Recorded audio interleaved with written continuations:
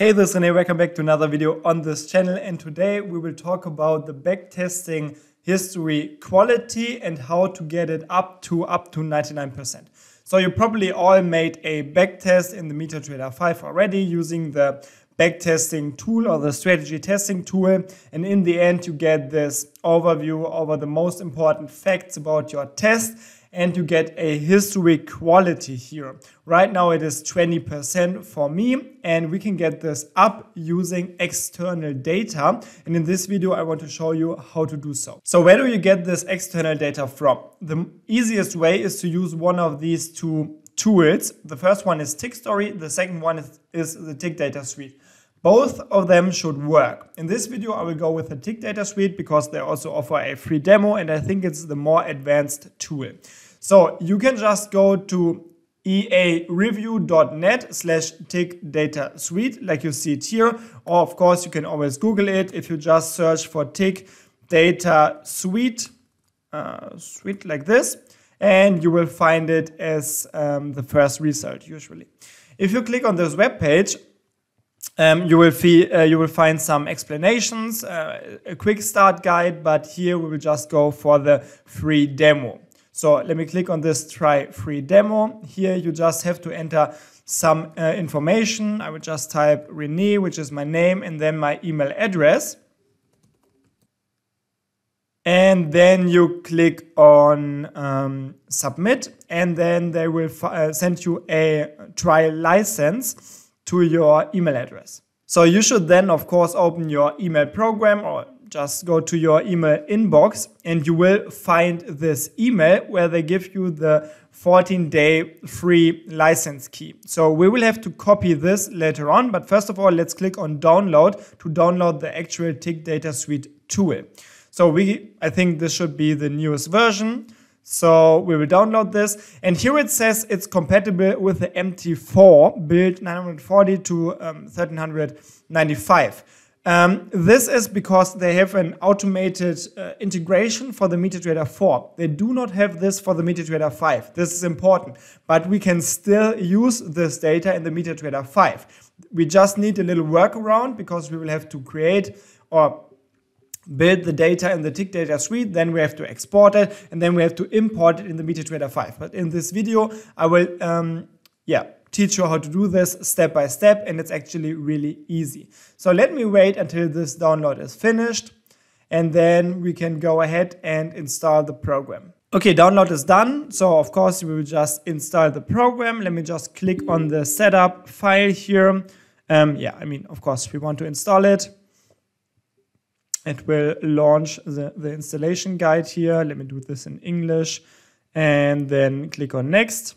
We will have to agree the agreement. Uh, yeah, agree to the agreement. And here is um, the license key already requested. So let me go back to my email. Let me get the license key here. So just take the license key from the email. Whoops, the whole line, of course. Right click, copy, go back to the installation tool, um, paste it here, and then we can click on next. And it should verify the, um, the, uh, the key, the license key. Then you can choose your installation folder. I mean, this is just a normal installation setup, not a lot to explain here. You probably all installed uh, some program before.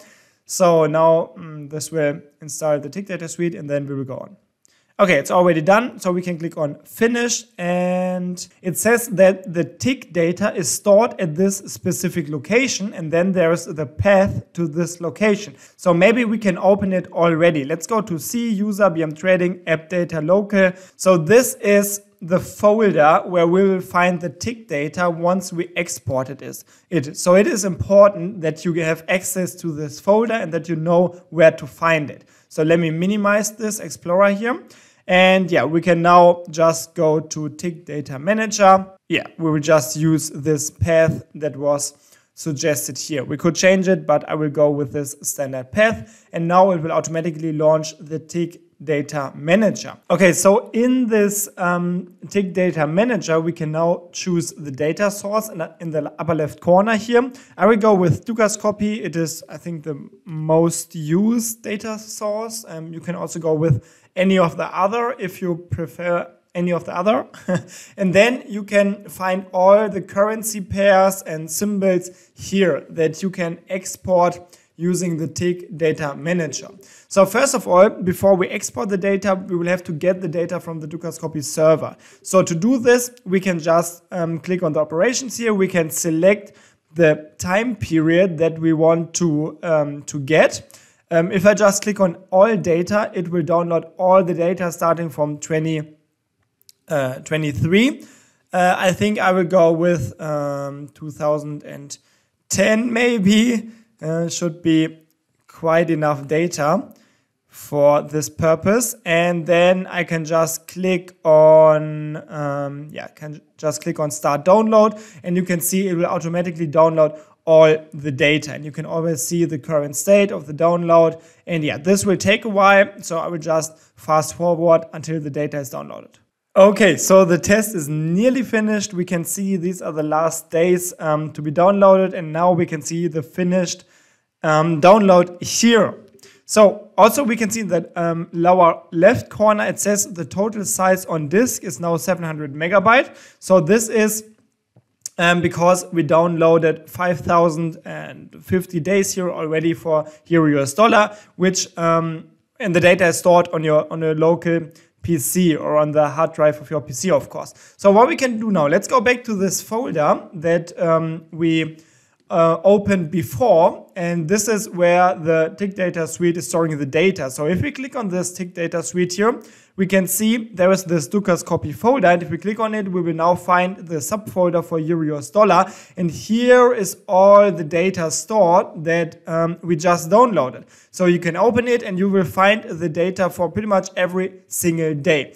This is, of course, a format. This is a BFC file. I don't really know what this is. So this is a format that we can, cannot use and cannot import in the MetaTrader 5. This is why we'll have to do one more step.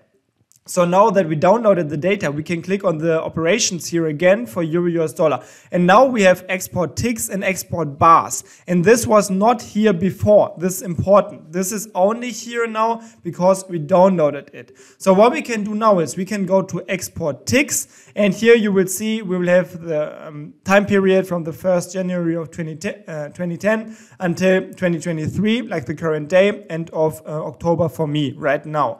So what I can do here is um, of course, the format should be MetaTrader 5 now because we want this um, yeah, to be available for the MetaTrader 5 then. Um, and then we will have to provide the GMT offset. This should be the same as for your broker. So for IC Markets, this is the broker that I will use. It is, or it should be GMT offset plus two. And the destination uh, should be US because the IC market servers, uh, I think, are based on the US time. And that's pretty much it, I think. So once we made these settings, we can now click on Start Export and it should export the data in a tick data format wherever we want it to be. So here we can actually choose another um, directory where we want to place the data. And um, you can see here, I will place this on the desktop because it makes it easy for me to include them or to import them afterwards to my MetaTrader 5 terminal. So you can store it um, at any location, but I think the desktop of your PC is always a good idea.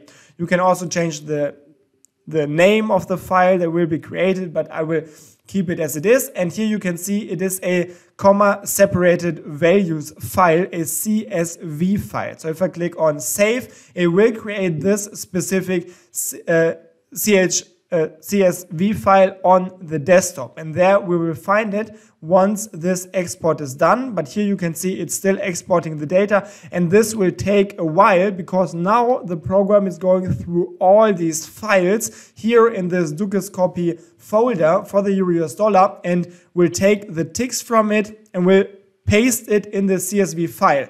And once this is done we should find the finished CSV file or the the, the created CSV file on the desktop. Let's go there already. and then we will be able to use it. So right now there is no file, but it should be there once everything is done. So maybe we can go ahead with the next steps already. So in the MetaTrader 5, we will have to include these um, ticks as a next step. So what we have to do in order to create this custom symbol is we can go to the market watch. If you do not see it, click on view market watch. And in the market watch, just right click anywhere and click on symbols.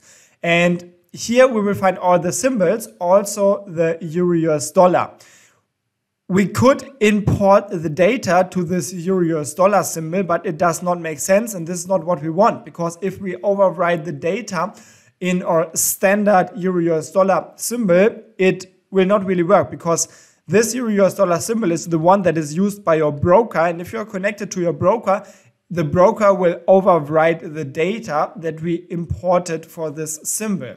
So what we want to do is we want to create a custom symbol. So in the symbols um, menu here, where we go to the left side, you can just go to custom and highlight this and you can uh, click on create custom symbol.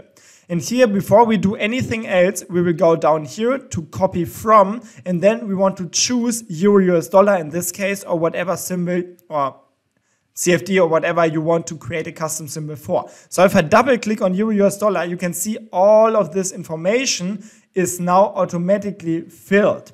And this is really important because now what I can do here is I can go to, um, to, to symbol and I can say here I want to change the name to US dollar underscore uh, TDS or whatever you like. This is tick data suite for me. So yeah, this should also update the path down here. So you can see um, that, yeah, now the, the path is updated. And if I now click on OK, it should create the custom symbol down here. So we will have, uh, we will now have it in this path. So custom Forex majors. And here we will find Euro US dollar TDS.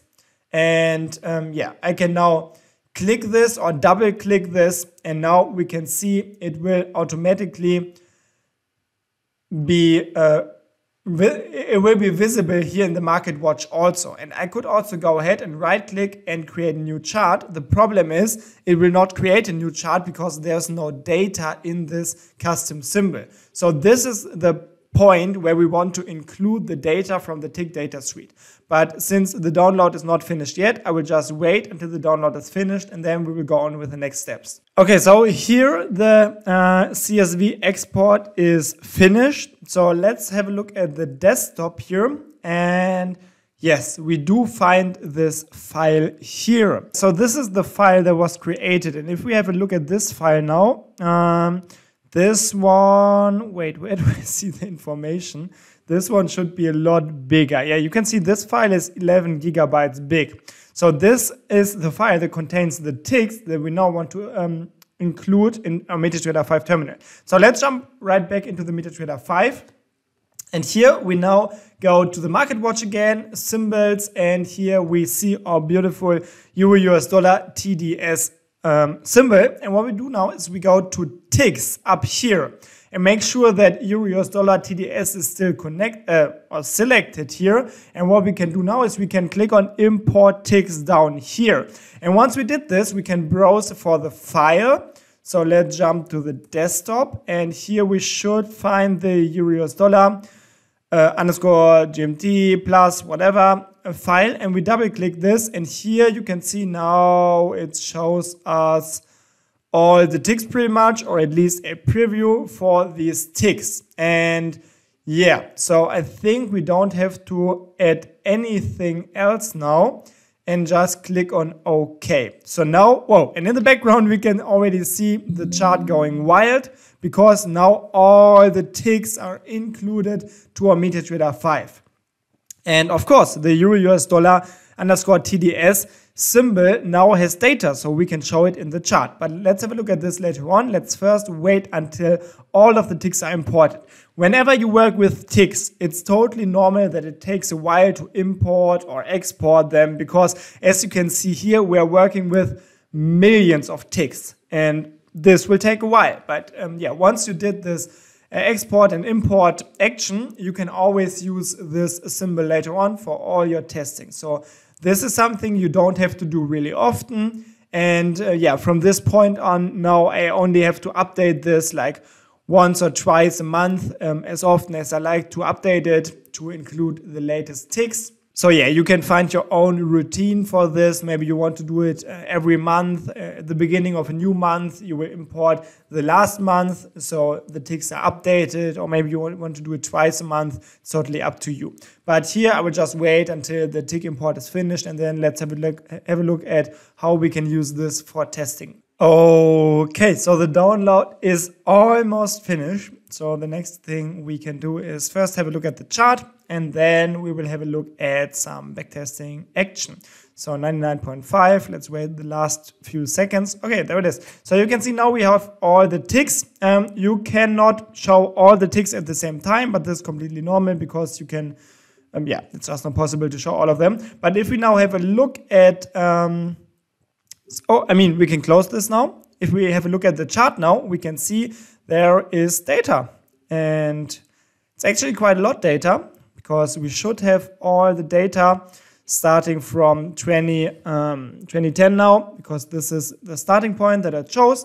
And we have one minute data, one hour data, whatever we like. It's all generated from these tick, uh, from this tick file now. And um, of course, this will not this is not updated automatically from the server of your broker because this is a custom symbol. So you do not do not have to worry. The only person who can update this um, is you. So you can include more data if you like, and um, yeah, you can uh, do this whenever you want. So what I want to do now is I want to have a look at um, let's say the euro US dollar.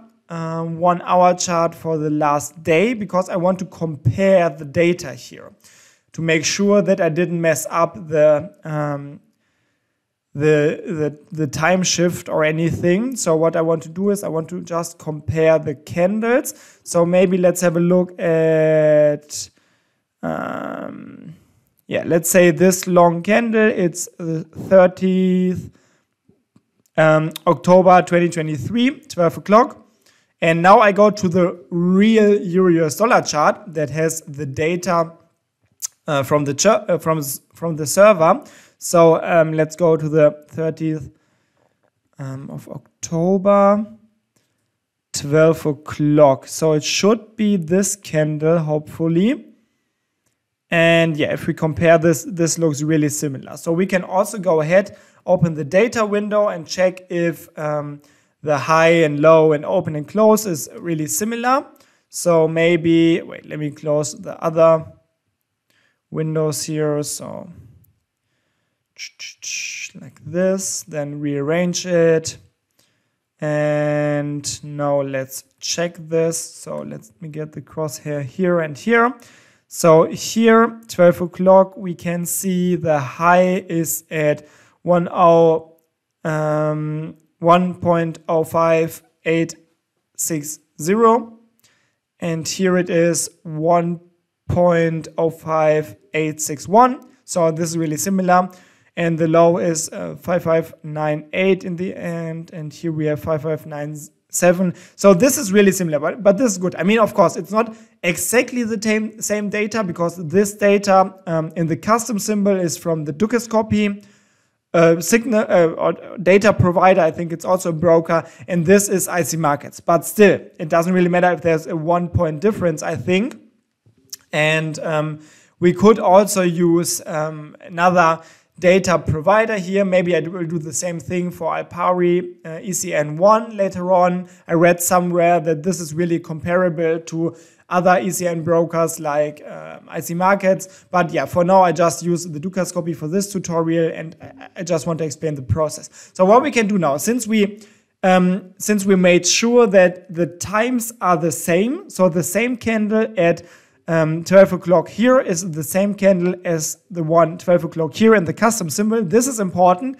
This is really important because otherwise you cannot really compare the test to the um, to the to the actual charts. uh, especially if you have a strategy that works with, with time. But now what I can do here is I can go to uh, visualize, I can choose any strategy, for example, this MACD strategy, and now I can go to symbol and we will find custom here, Forex, and then majors, and here, whoops, Allah, here we should find Euro dollar underscore TDS. And this is the symbol that we want to use for our backtesting. And now I can, yeah, just choose the H1 chart, maybe test this period from 2020 up to 2023 with this MACD strategy and the delay. Yeah, you can choose whatever delay you like. And this is not really like super important, but what is, is uh, what is super important I mean, it's still important to choose a realistic delay. I would just suggest the, the server ping or a random delay. Um, one of these options is the best, I think. And then I want to use every tick based on real ticks. And then um, this is also important. We have to click on this button to um, be able to add the trading commission and everything. And what we have here is we have the uh, use custom settings.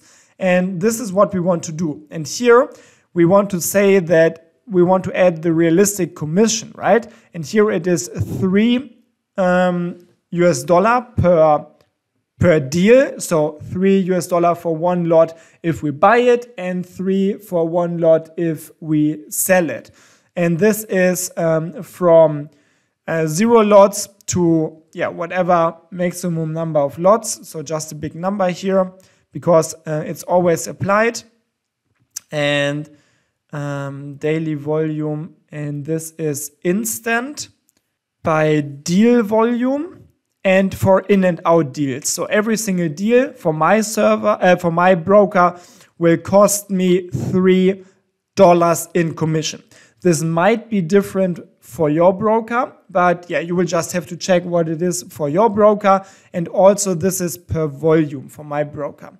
So these are the settings. I think that they should be correct for IC markets. Again, for your broker, it could be a little bit different. So I can now click on OK. So it should be saved here. And yeah, if I have everything up and going, I can now click on start with my expert advisor and test it here for this um, uh, for, for, for, for the selected period starting in 2020 up to um, 2023. And it is really important that you um, suggest or that you select the custom symbol. This is um, really important because otherwise it will not really work, of course.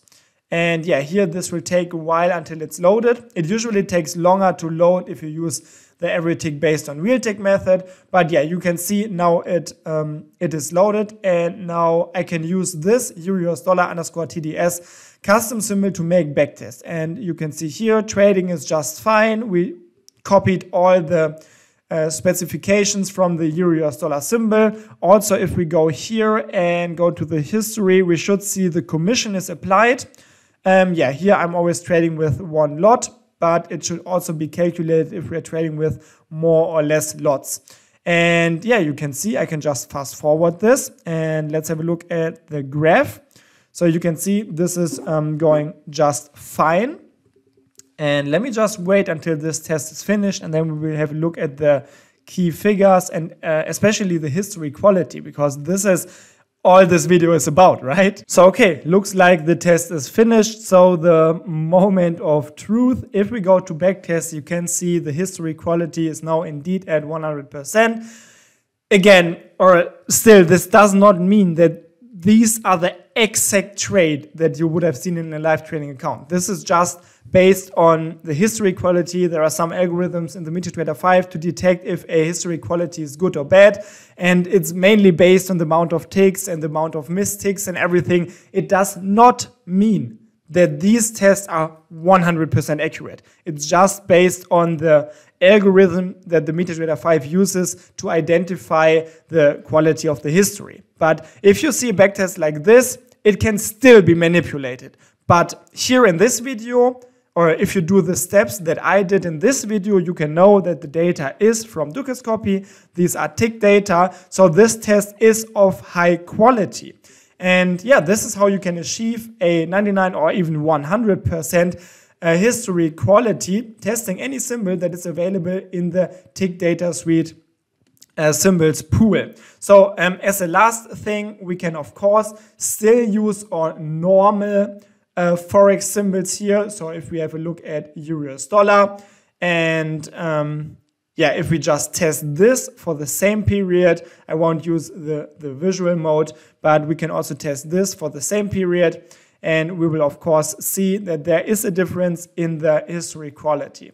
And this will be the last test that I did in this video. I hope I was able to show you how you can use the, um, the tick data suite to get historical tick data from a lot of different sources to make high quality backtests. And yeah, if you're interested in uh, doing so, you can of, of course use this um, um, uh, tutorial as a step-by-step -step tutorial to do the same steps and get the same results in your tester.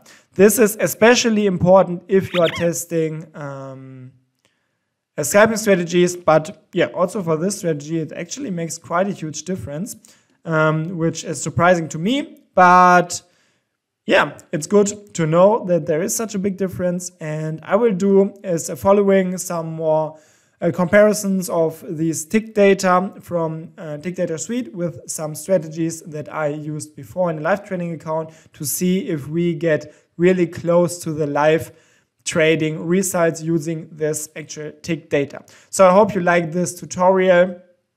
Uh, let me know in the comment section below if you have any more questions and if you were able to um, yeah, get something out of this tutorial, please leave a like. Also, make sure to subscribe to this channel because I will do more backtesting videos and stuff using the Tick Data Suite data now. From now on, also you will find a lot of programming content. This is what this channel is based on mainly. So I want to make you able um, or I want to enable you to write your own trading strategies for the MetaTrader 5, especially so you are no, no longer dependent on some um, expert advisor from the internet or some external programmer. So yeah, thanks for watching. Have a great time and good trades. Bye.